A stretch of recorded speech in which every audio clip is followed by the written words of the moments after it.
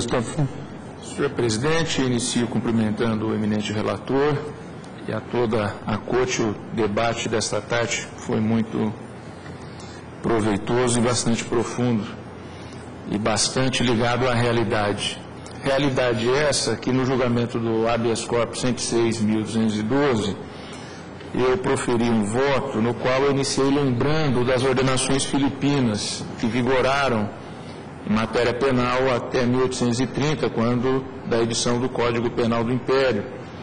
E dizia um dispositivo das ordenações o seguinte: achando o homem casado sua mulher em adultério, licitamente poderá matar assim a ela como o, adúltero, salvo se o marido for peão e o adúltero fidalgo. A evolução civilizatória da posição da mulher, ela aconteceu ao longo de todo o século XIX, século XX principalmente, e a Constituição brasileira, ela tem um ponto, sim, específico, que vai além do princípio mais amplo da dignidade, que é o já referido aqui nos votos proferidos, e especialmente no voto do eminente relator, o parágrafo 8 do artigo 226. Parágrafo, parágrafo 8 do artigo 226 estabelece que o Estado tem a obrigação, o dever de coibir a violência no seio familiar e criar mecanismos para tanto. Naquela oportunidade do julgamento do HC, eu também lembrei a violência contra a criança. Naquele momento, eu me referi a que o mais cruel criminoso, o mais vil bandido que se possa pensar, se confessar um crime sob tortura, nós iremos aqui anular essa confissão. E o mais vil bandido que não tiver um advogado de defesa, ministra Rosa, terá direito a um defensor público para defendê-lo. Quem defende a mulher e a criança dentro do seio familiar, dentro da casa? Não há ali defensor dativo, ali não há um advogado a ser nomeado. Manter a exigência manter a exigência de a representação, penso que equacionou muito bem o eminente relator, para o início desse dever do Estado, que é coibir. E esse dispositivo não está, como todos na Constituição, não estão, por acaso, é porque faz parte de uma mudança cultural e civilizatória. Vejam, Vossas Excelências, que eu citei uma lei, pode parecer muito tempo, mas não tem 200 anos. Há menos de 200 anos atrás, ainda no Brasil, podia o homem que encontrasse a sua mulher em adultério matá-la. O adulto dependeria do estado social, mas a ela sempre poderia matar. É um processo civilizatório e o Estado é partícipe hoje ao contrário do que foi no passado, dessa promoção, sem dúvida nenhuma, que no caso se aplica, da dignidade da pessoa humana, independentemente de sexo, raça, opções, como está no nosso texto constitucional. Por isso, senhor presidente, e fundando especificamente o meu voto, fundamentando especificamente o meu voto no 226, parágrafo 8 para além do princípio da dignidade da pessoa humana, já citado, eu acompanho o eminente relator e julgo procedente a ação. Ministra Gabelucci.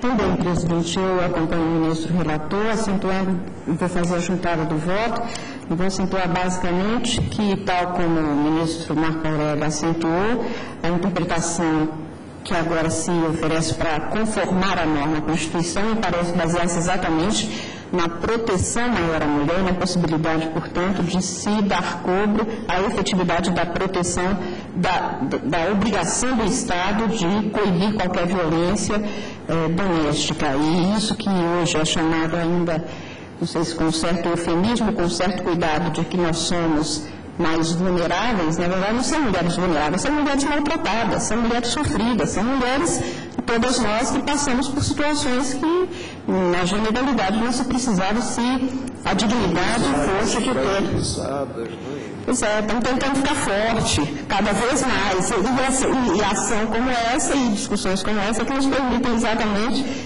ver essa possibilidade. Também acho que a preocupação de Vossa Excelência, que sempre cala fundo, porque se se quer dar maior proteção, qual é a maior proteção? Interpretando-se uma lei, já que nós somos legisladores e a escolha já foi feita pelo legislador, me faz pensar realmente, acho que Vossa Excelência tem toda a razão na preocupação, com, claro, com, com todo o talento de Vossa Excelência, com todo o saber realmente tem, mas eu, eu tenho a impressão que nós tivemos algumas mudanças que nós ainda não completamos. É, na sociedade, eu digo, é, o que era um espaço público e que a gente escutava, briga de marido e mulher, ninguém mexe a colher. E há um celebrando sonetozinho do, do Drummond que diz o que se passa na cama é segredo de quem ama. É bem certo que aqui, quem bate não ama. Então, não o soneto. O que se passa na cama? Não, se for violência, o Estado entra. Esse, essa é a grande mudança. Acabou a história de achar que porque era entre quatro paredes o Estado não entra, ou, contrariamente, que se está em praça pública, que é público, muita, conforme um de nós servidores públicos em praça pública, podemos estar numa situação de, não ter, de, de situação de privacidade. Você está no telefone com uma pessoa sua, apesar do espaço público, é, é, isso aí é um ato de de, de, de, garantia da privacidade. Essa mudança ainda nós estamos passando por ela, mas aqui o que eu acho que é preciso levar em consideração é rigorosamente o, o, escopo da lei, o objetivo da lei, que é de dar maior proteção. E por isso eu acho que a interpretação oferecida com as vendas de Vossa Excelência que pôs como preocupação, claro, sempre salutar e que me faz pensar, mas aqui eu acompanho o relator para também julgar procedente para o fim específico de dar interpretação conforme, sem embargo também das ponderações do ministro Gilmar, que acentuou que poderia não ter um paradigma, eu acho que o ministro Toffoli agora também acentua, que é exatamente o parágrafo 8 do artigo 226, e nesse sentido eu faço a juntada do meu voto para declarar procedente dando interpretação conforme a norma, as normas da Lei 11.340. Ministro Ricardo Lewandowski. Senhor presidente, eu eh, da mesma forma como fiz anteriormente, quero saudar e cumprimentar o eminente relator pelo brilhante voto que trouxe, assim como os belíssimos argumentos que foram é, veiculados pelos colegas que praticamente, ou na verdade, esgotaram a temática. E, mas eu me permitiria trazer à colação, ao debate, um outro aspecto eu gostaria de salientar que penso que nós estamos diante de um fenômeno psicológico e jurídico que os juristas denominam de vício da vontade e que é conhecido e estudado desde os antigos romanos. E, e as mulheres, como está demonstrado estatisticamente, isso foi salientado por todos os oradores e todos os magistrados que me antecederam, não representam criminalmente contra o companheiro ou marido em razão da permanente coação moral e física que sofrem e que inibe a sua livre manifestação da vontade. Esse vício da vontade é conhecido, estudado pelos juristas brasileiros, consta de nossa eh, legislação civil e penal desde muito tempo, o Código Penal, por exemplo, no artigo 22, fala em coação irresistível. Inclusive, afasta a punibilidade daqueles que agem sob uma coação irresistível. E o Código Civil vigente, o novo Código Civil, no artigo 151, também trata da coação como um vício insanável da vontade que anula, inclusive, o ato jurídico, o negócio jurídico. Quando uma das partes age, e aqui leio o, o, o artigo 151 do Código Civil, age sob fundado temor de dano iminente e considerável à sua pessoa, à sua família ou aos seus bens o que acontece com a mulher, sobretudo a mulher, é, enfim, fragilizada é, que se situa nos estratos inferiores é, da camada social, ela está exatamente nesta condição, sob permanente temor de sofrer um dano pessoal ou que seus filhos ou familiares sofram um dano ou que seu patrimônio, de certa maneira, sofra também algum atentado. Portanto, a mulher não representa porque sua vontade é viciada. Então, esse é um argumento que eu modestamente aduzo aos debates aqui travados, mas querendo concluir que adiro integralmente ao douto voto do eminente ministro Marco Aurélio para julgar procedente a ação e dar também interpretação conforme ao artigo 41 da Lei Maria da Penha, nos exatos termos eh, em que foram eh, colocados pelo o ministro Gilmar Mendes está pedindo antecipação de voto. O ministro Gilmar Mendes está pedindo antecipação de voto de receita. Não vou falar nada sobre, sobre o que já se falou. É que eu verifico aqui que nós estamos afastando essa representação daqueles delitos previstos na Lei 999. Mas há um detalhe aqui.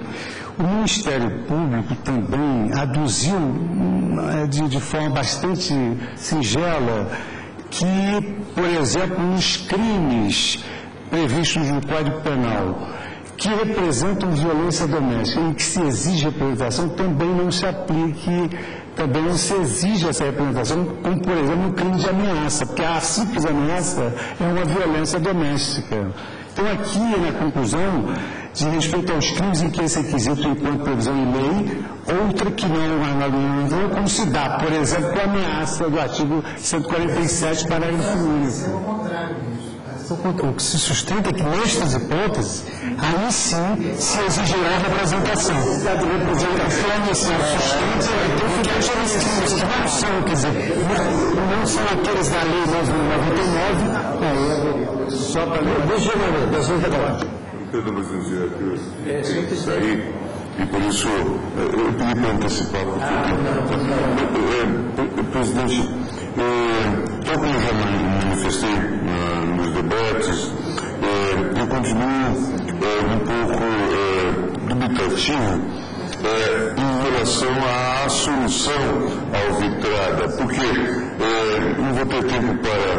É um caso típico em que eu gostaria de pedir vista, mas já estou com o gabinete um pouco onerado com tantas para examinar a questão na perspectiva é, do, da análise dos fatos e que é o que nós estamos fazendo em relação à atividade do legislador. Porque nós temos no texto constitucional, não foi objeto de alguma consideração aqui, os, os chamados mandados ou mandatos de criminalização. Por exemplo, quando diz que o crime de racismo é crime é, inafiançável e imprescritível, quer dizer, o, o constituinte não deixa espaço para é, o legislador é, eleger sequer é, o modelo, porque terá que ser criminalizada a conduta né, e ele estabelece inclusive a imprescritibilidade. Em outros casos, fala-se, por exemplo, também na inafiançabilidade né, estabelecendo, portanto,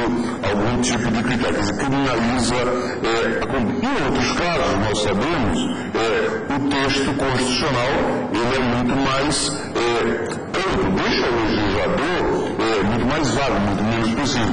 A possibilidade de eleger, de avaliar, até se trata do tema no plano penal ou no plano administrativo, no plano é, de outra índole. Então, me parece que aqui é, eu tenho assim uma, uma é, dificuldade de dizer simplesmente, como já se colocou no debate, que é a melhor escolha. E a doutrina é realmente muito dividida quando faz essa consideração do lege, esse assunto do lege ferenda. Se a melhor forma de proteger é a ação condicionada, é? ou a ação é, pública não é, condicionada. É, é eu gosto de uma frase que eu repito é, do, de um juiz alemão chamado Yarnais, que diz que legislar é um pouco fazer experiência com, só quer fazer experiência com o destino humano.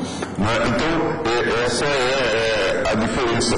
E aqui é, é, um pouco isso que ocorre. E aí vem, inclusive, aquela menção é, que aparece no Evangelho que, às vezes, querendo fazer bem, faz-se mal. É, então, é preciso ter cuidado. Mas como nós estamos aqui fixando uma interpretação que, eventualmente, declarando constitucional, nós podemos, eventualmente, rever, dentro, de fatos, eu vou acompanhar o relator. Mas eu tenho, eu quero realmente compartilhar as angústias aqui que vão na minha alma, porque, primeiro, primeiro, a própria fundamentação, é fundamental que Corte Constitucional, é, diferentemente inclusive do legislador, é, nós temos que dizer qual é o fundamento da inconstitucionalidade. Não pode ser um fundamento espiritual, né? não pode ser, como eu disse em outro momento,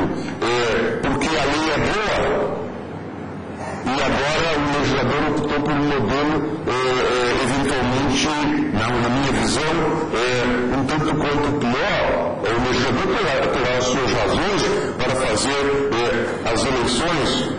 E nós sabemos, porque a questão que, que é, nós discutimos aqui, o ministro Celso é, que, que tem ocupado os próprios doutrinadores, é que, às vezes, é, a própria ação penal pública incondicionada vai ser um elemento de tensão familiar né? e, e, e, eventualmente, de desagregação familiar. E constitucional quer um mínimo de integração.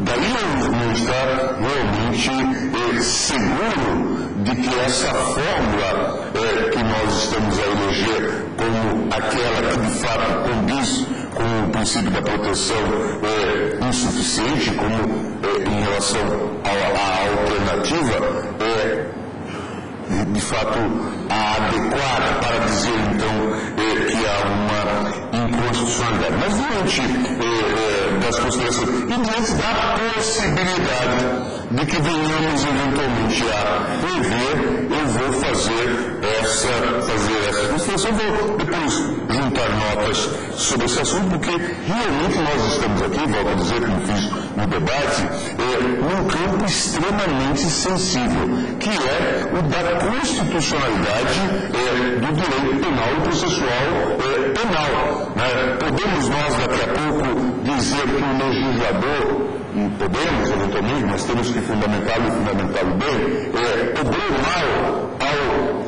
criminalizar uma conduta,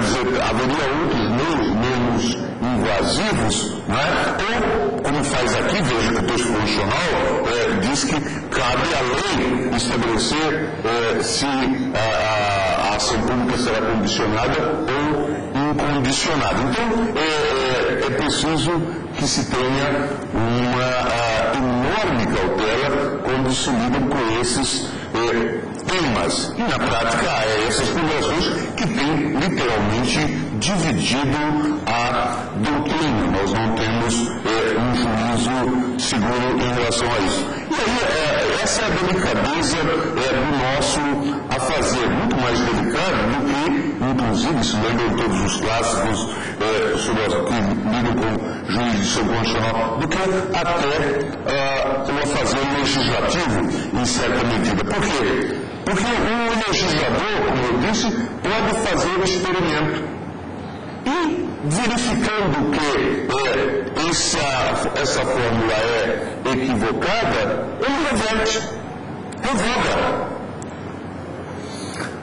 Para cortes ou para órgãos do nosso perfil, essa opção já é muito mais é, difícil. Embora possamos até ver, como eu já disse, é, as nossas decisões é, vêm dotadas, pelo menos, desse caráter de durabilidade ou de uma quase irreversibilidade num dado é, tempo, pelo menos. Por isso, há um dado importante também, tudo aquilo que você soube com excelência, é que qual seja a decisão que nós tomamos, amanhã depois, se o legislador consciente, baseado em pesquisas, estatística, etc., quiser retornar ao sistema da ação penal condicionada, ele vai encontrar o obstáculo da declaração de inconstitucionalidade. É. Mas isso é, o legislador não terá opção dentro de uma realidade. É. Veja a responsabilidade. É, essa é o segundo. É. Se amanhã depois. É isso. Mas é, Essa doutrina dos casos julgados é no sentido de que a declaração de inconstitucionalidade não vincula o Poder Legislativo. Eles vão levar em consideração o seguinte: olha, nós vamos perguntar uma lei que já foi tida por um constitucional e vamos devolver isso novamente? É. É, não é. é, é, é, é tão simples assim? É.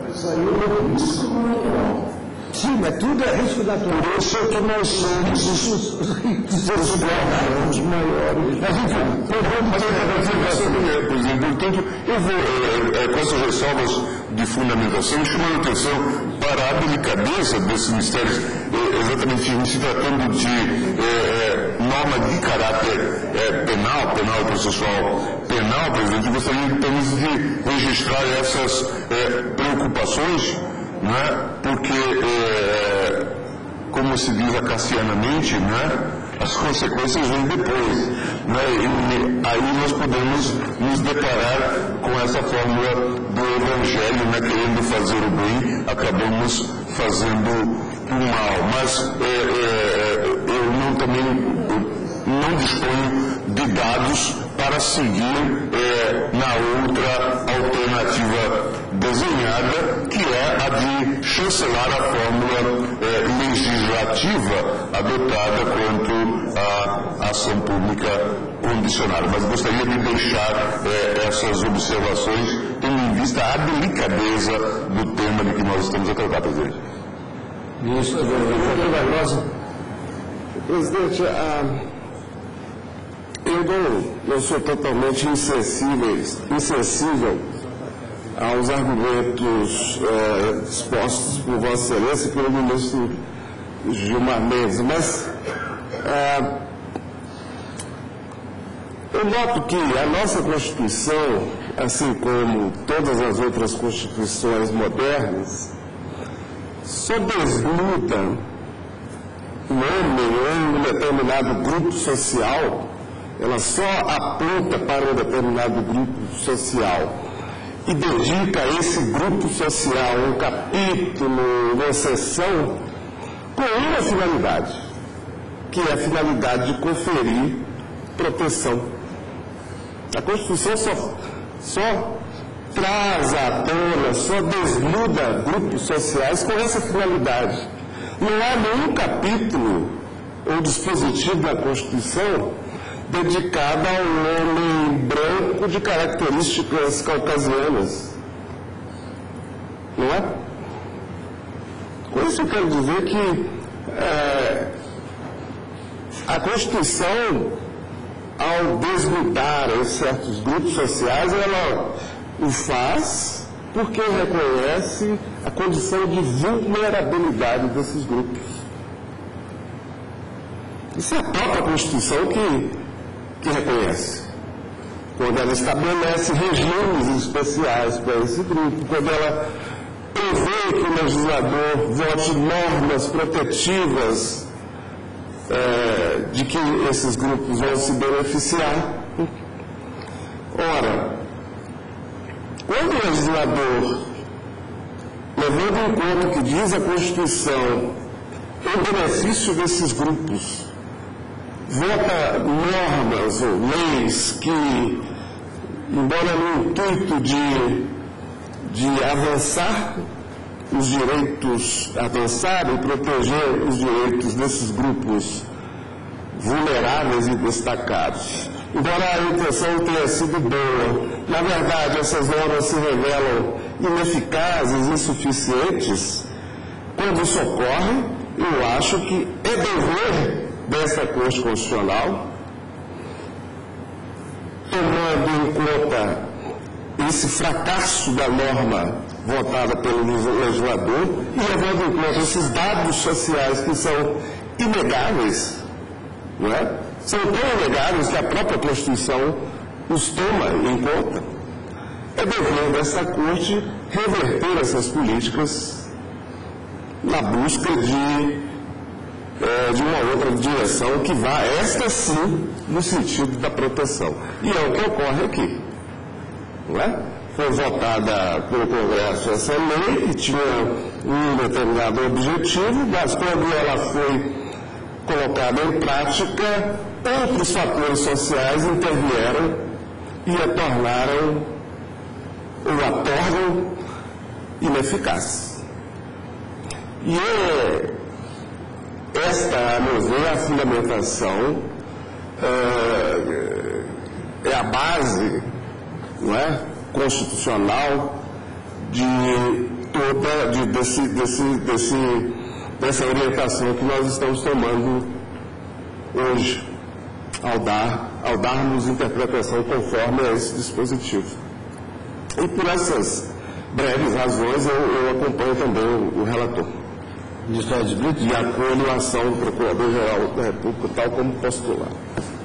Senhor presidente, eu me detenho, no particular, na leitura do parágrafo 8 do artigo 226 da Constituição, cuja dicção é esta.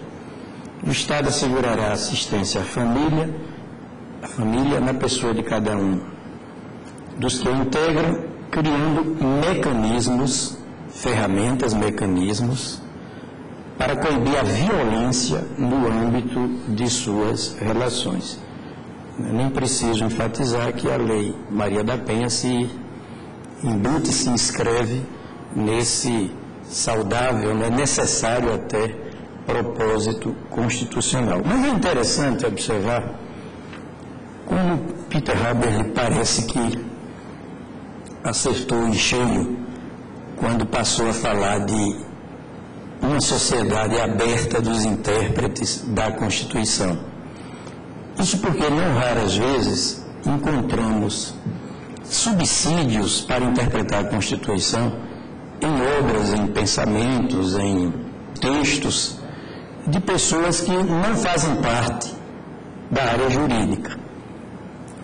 Um texto na obra que li ainda há pouco, de Rosane Teixeira, de Siqueira e Oliveira, é uma passagem muito interessante de Bourdieu.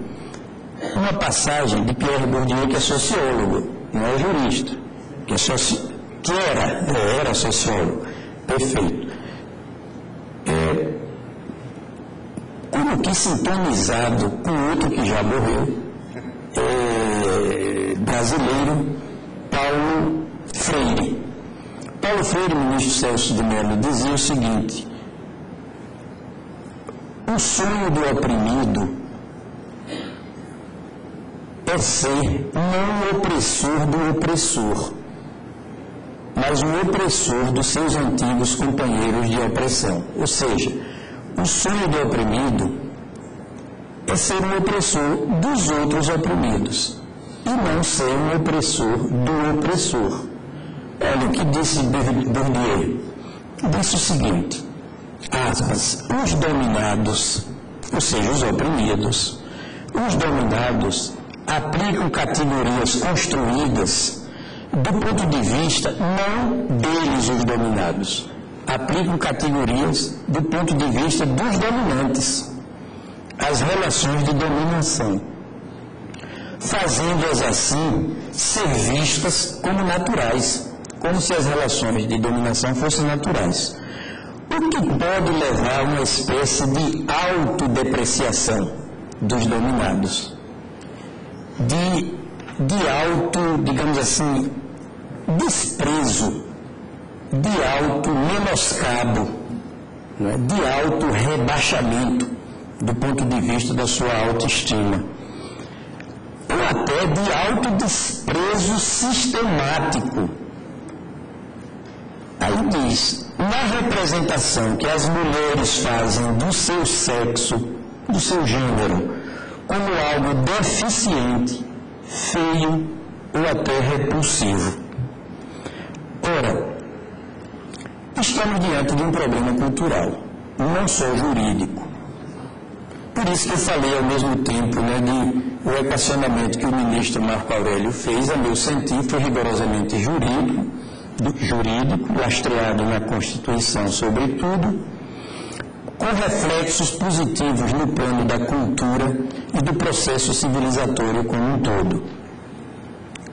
E, de fato, nós estamos aqui tratando de normas jurídicas a partir da Constituição que foge um pouco daquela definição simplista de que o direito é uma técnica de controle social, notadamente pela regulação de condutas, de comportamentos intersubjetivos ou intergrupais. Há leis, há normas que são estruturantes, estruturais, porque mais do que regular condutas topicamente, pontualmente consideradas, elas querem mudar uma cultura. Como diria a ministra Rosa, elas querem quebrar paradigmas, porque são paradigmas ultrapassados, que boicotam o processo civilizatório de emancipação, de libertação de mentes e de espíritos. Sabendo que o preconceito realmente atua no sentido de escravização mental e essas normas que visam estruturalmente a combater uma certa cultura, como a cultura do patriarcalismo, essas normas, no fundo, estão mudando mentalidades, querem mudar as mentalidades dominantes. Porque quando se muda mentalidade, o efeito é conhecido. Nós nos transformamos como pessoas não mudamos apenas o nosso comportamento, a nossa conduta. Porque nós podemos mudar a nossa conduta, até no sentido do não preconceito, mas por conveniência. Digamos, para praticar o politicamente correto, não é? para não posar de ultrapassado. Mudamos a nossa conduta no sentido socialmente desejável, mas continuamos a mesma pessoa no fundo preconceituosa. Então, esse tipo, esse artigo 41, ministro Marco Aurélio, me parece que ele busca mudança de mentalidade e, portanto, de quebra de paradigmas culturais. É, e por isso, a proposta de Vossa Excelência de afastar a obrigatoriedade da representação da agredida como condição de, de, de, de propositura da ação penal pública, me parece rimado, rimado com a Constituição. Porque a agredida, num contexto cultural, patriarcal, remittentemente patriarcal, mais do que isso, machista como o nosso, a agredida tende a condescender com o agressor.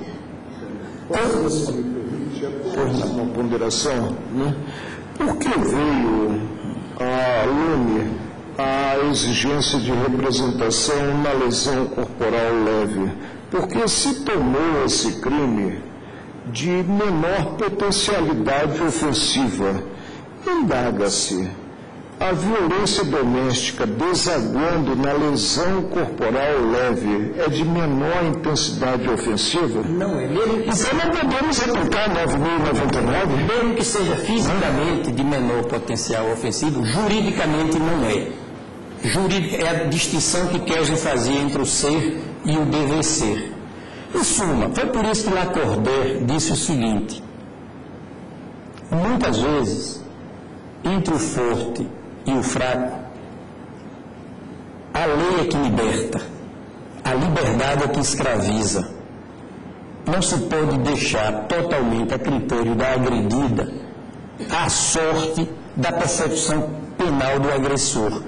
Repetindo, ministra Carmen. Excelência, me permitiria um... Por não. Só na linha exatamente do que a Excelência acaba de dizer, não vou tomar o tempo do tribunal demais isso que Vossa Excelência acaba de dizer, que está na linha do que o ministro Marco Aurélio eh, enfatizou tanto no seu brilhante voto, diz respeito exatamente a uma condição que se estudou como síndrome, síndrome de Estocolmo, que vale nos sequestros, em que o refém chega um momento em que ele começa a se sentir realmente amigo e, e, e, a vida dele depende tanto do outro que ele começa a meio que achar que ele gosta do outro. E essa síndrome, que é estudada só para os casos de sequestro, hoje várias vezes eu leio na neurociência aplicada também às mulheres que sofrem durante muito tempo, que às vezes é, eu vou usar uma expressão, não o tapinha como se fosse uma coisa pequena, mas que, que é uma violência física de todo jeito, mas que, que seria algo que, como o ministro Marco Aurélio acaba de realçar, será que seria menor mesmo para quem todos os dias foi quebrantado, mutilado, enfraquecido e que tem. E aí começa a achar que a vida dele depende deste que, pelo menos, me deixa sobreviver. É, é aplicável aqui isso não diz. Eu não sei, eu não sei se, do ponto de vista da, da psicologia da palavra, me parece que é a síndrome de Estocolmo já é aplicada aqui. Isso. Uma linguagem, Mas eu agradeço. Uma linguagem de tocador de violão, e o ministro Fux também toca violão, guitarra, nós estamos afinando as nossas vozes pelo mesmo diapasão. Né? Na verdade, a lei aqui protege a agredida dela mesma, da sua excessiva condescendência. Enfim. Ou da sua fragilidade. Pela sua fragilidade, pela sua vulnerabilidade histórica. Não é isso, ministro Joaquim Barbosa? Bem, assim como Lacordaire disse que entre fracos e fortes, ou seja, entre hipossuficientes e hipo, hipersuficientes, a liberdade é que escraviza e a lei é que liberta, há uma fábula né, conhecidíssima. A mesma liberdade para lobos e cordeiros é excelente para os lobos. Por isso, senhor presidente, eu acompanho o ministro Marco Aurélio e faço a mesma interpretação conforme que Vossa Excelência, que Sua Excelência fez, dos artigos 12, inciso 1 e do artigo 16 da Lei 11.340, para assentar a natureza incondicionada da ação penal em caso de crime de lesão corporal. Palavra para o ministro Sassiano. Senhor presidente, tem voto, voto escrito, não irei lê-lo, tendo visto o adiantar da hora. É, antes de mais nada, reafirmo é, as premissas que já expus hoje mesmo nessa sessão plenária, quando do julgamento da primeira ação declaratória de constitucionalidade em torno do processo de consolidação dos direitos da mulher e dos compromissos internacionais que o Brasil assumiu, notadamente na década de 90, vindo posteriormente no que se refere à violência familiar e doméstica contra a mulher, a estabelecer e a positivar em texto normativo a vigente Lei Maria da Penha mas isso tudo vai constar do meu voto escrito. Eu apenas desejo observar, senhor presidente, que as decisões proferidas na sessão plenária de hoje pelo Supremo Tribunal Federal representam marco importante no processo de definição e consolidação e concretização é, de, de, de, de um dos tópicos mais sensíveis que compõem a agenda dos direitos humanos em nosso país, especialmente se tivermos em consideração as consequências positivas que certamente resultarão dos julgamentos hoje proferidos. De um lado, fortalecendo e conferindo maior eficácia aos direitos básicos da mulher, notadamente da mulher vítima de agressão, e do outro, tornando efetiva a reação do Estado na prevenção e na repressão aos atos criminosos de violência familiar e doméstica contra a mulher. Reconheço que há uma grande discussão em torno do tema que foi também eh, novamente eh, examinado pelo eminente ministro Marco Aurélio em seu outro voto. Eh, tanto que, no âmbito do próprio Egrégio Superior Tribunal de Justiça, essa questão sofreu grandes divergências entre as duas turmas, entre a quinta e a sexta turmas Posteriormente, a terceira sessão uniformizou aquela jurisprudência, que veio depois a ser reafirmada em sede de recurso especial é, com caráter repetitivo, como aqui aludiu a eminente ministra Rosa Weber. O Superior Tribunal de Justiça entende que a persecução penal, em casos como este, dá-se mediante representação, vale dizer, mediante ação penal pública condicionada, condicionada a essa verdadeira delação postulatória que a vítima dirige ao Ministério Público. No entanto, senhor presidente, nós estamos interpretando não a Constituição segundo a lei, mas basicamente, como deve ser, a lei segundo a Constituição.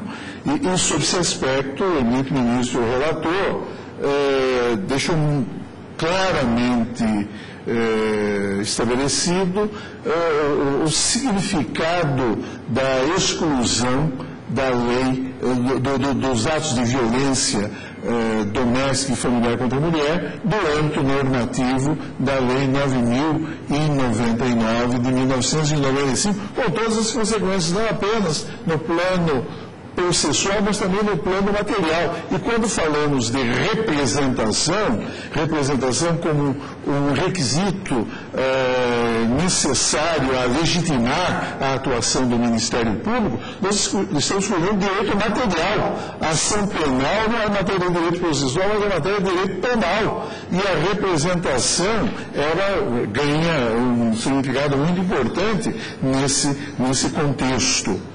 Uh, e é tão importante a Lei Maria da Penha sobre todos os aspectos, inclusive sobre, estes que estão sendo agora objeto de julgamento nesta apresentação direta, que como salientou bem, aliás, todos salientaram, e agora eh, mais proximamente de mim, eminente ministro Carlos Brito, é fundamental que se dê atenção ao que dispõe o parágrafo 8 do artigo 226 da Constituição da República, onde há realmente ali um mandato, um mandado, mandado de legislação dirigida ao Congresso Nacional para estabelecer mecanismos de coinibição, de inibição da violência familiar e da violência doméstica.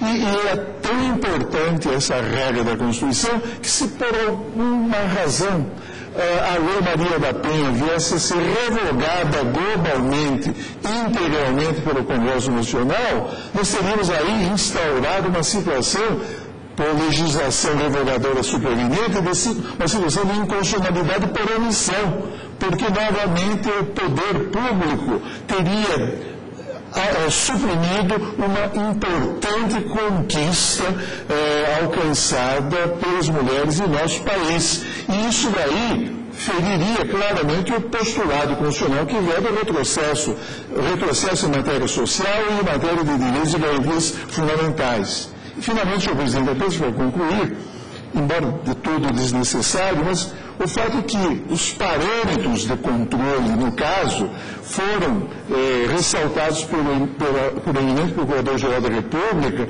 quando deduziu a sua pretensão nesta ação direta constitucional, como pelo eminente relator e pelos eminentes juízes desta Corte se de um lado é verdade, há um parâmetro de controle genérico como postulado da dignidade, da essencial dignidade da pessoa humana, mas a mim parece que há um outro que é mais específico e igualmente aplicável ao caso, e que se refere a uma das dimensões em que se desenvolve o princípio da proporcionalidade, e que consiste na vedação da proteção insuficiente, toda vez que o Estado adota medidas que possam é, fragilizar ou reduzir a proteção jurídica por ele devida a determinados é, estratos da população, ah, nesse caso torna-se evidente a ofensa ao texto constitucional. Sim, senhor presidente, eu é, acompanho interiormente o douto voto proferido pelo eminente ministro Marco Aurélio. É, eu gostaria de, antes de externar meu ponto de vista, só relembrar uma coisa que, de certo modo, já permeou aí algumas intervenções dos ministros, que não é apenas a doutrina jurídica que se encontra dividida quanto ao alcance da lei.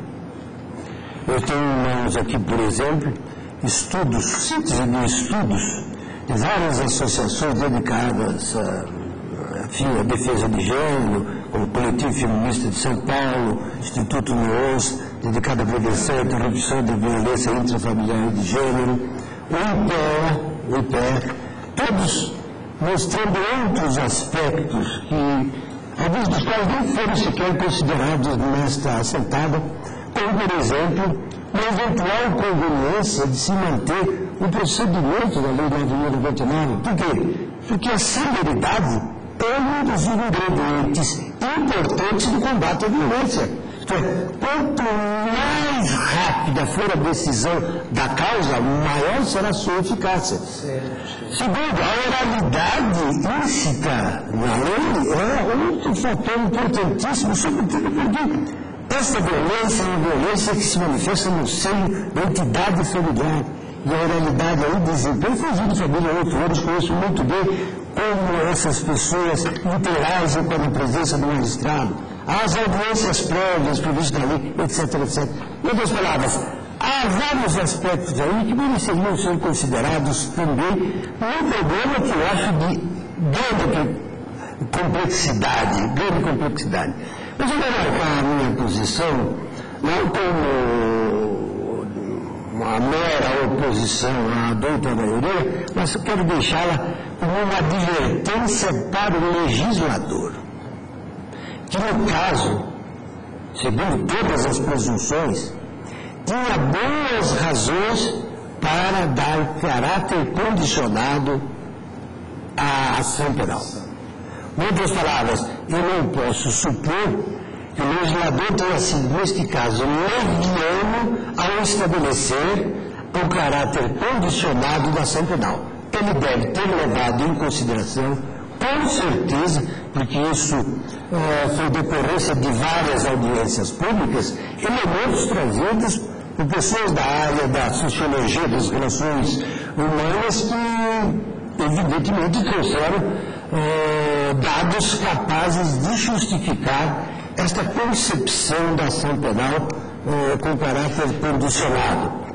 É, e mais, acho que ela deixa transparecer uma coisa importante. Não obstante o ministro Ricardo Lewandowski ter aludido à eventual existência, que pode até ser, vamos dizer, quase regra na grande maioria dos casos, de vício da vontade da mulher ofendida, nós também não podemos dizer que isto seja uma regra de caráter absoluto, que muitas mulheres não fazem a delação, não levam a notícia crime por uma decisão que significa o exercício do lucro substancial da dignidade da pessoa humana, que é a responsabilidade do seu destino. Isto é uma dimensão é, que não pode ser descurada. O ser humano se caracteriza exatamente por ser sujeito da sua história, a capacidade que ele tem de se decidir por um caminho. E isto me parece que transpareceu a edição dessa norma, dessas duas normas agora contestadas. Mas a minha advertência vai ao legislador para que ele considere os seguintes riscos. Ele considera os seguintes riscos. Primeiro, a, a possibilidade de intimidação da mulher em levar a, a notícia crime, porque ela sabe que não vai poder influir no desenvolvimento da ação penal e não vai poder paralisá-la. Alega-se, alega-se que terceiros poderão fazê-lo. Mas a notícia de terceiros é sempre excepcional. Essa violência quase sempre se dá no âmbito doméstico e é do conhecimento apenas das pessoas da família. Há casos, vamos dizer, marginais, em que pela brutalidade isto extravasa os muros da residência e chega o conhecimento vizinho. Mas isso não significa necessariamente uma condição de eficácia. Por quê? Porque tiver uma dependência de notícia de terceiro, é perder o risco de não haver notícia alguma. Alega-se que a mulher é, ignora, a, vamos dizer, as sutilezas jurídicas de uma ação pública. E neste caso, para mim, a situação é ainda pior. Por quê? Porque há o risco de ela ser, continuando a conviver com um parceiro que a ofendeu e pode ter sido uma ofensa eventual e isolada, de no meio dessa convivência, eventualmente já pacificada, de uma renovação do pacto familiar, sobrevendo uma sentença condenatória que terá no seio da família consequências imprevisíveis. Por outro lado, isto pode desencadear maior violência por parte do parceiro ofensor. Por quê? Em primeiro lugar, pela óbvia impossibilidade de a mera publicidade da ação penal constituir um impedimento a essa violência. Tanto de ação penal não impede que o parceiro se torne violento. No caso, antes acirra a possibilidade dessa violência, porque ele sabe que ele terá, estará agora sujeito a uma situação que escapa à sua possibilidade de intervenção mediante a atuação da mulher. Em outras palavras, ele vai se ver numa situação em que vai ocorrer de tomar uma atitude de represália mais violenta quanto ao fato de ele ter sido uh, processado por uma lesão leve. Por outro lado, esse me parece o aspecto que mais me preocupa e que mais me incomoda e que mais me atormenta, e esta é a razão pela qual eu estou tomando essa atitude, eu acho que nós, dos judiciários, estamos tomando uma atitude e que nós estamos assumindo esses riscos. E assumindo esses riscos com perda da visão da situação familiar. Nós estamos concentrados na situação da mulher, que merece, evidentemente, todas as nossas preocupações, merece toda a proteção do ordenamento jurídico, isso é coisa indiscutível.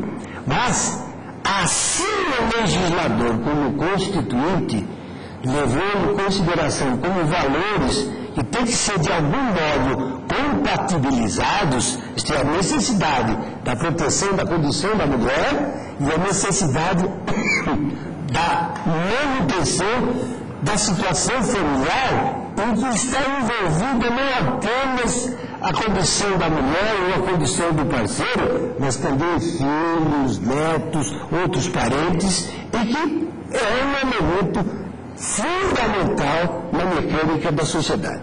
Por estas razões, que não representam absolutamente discordância intelectual a postura adotada pela Benta maioria, eu vou votar vencido apenas para que isso fique marcado como uma advertência do legislador. E eu faço na expectativa, mais do que expectativa, na grande esperança de que a Benta maioria tenha acertado mais uma vez. Proclamo o resultado o tribunal julgou procedente a ação direta de constitucionalidade por votação unânime e julgou procedente a ação direta de inconstitucionalidade nos termos do voto do relator, outro voto do presidente. Está encerrada a sessão.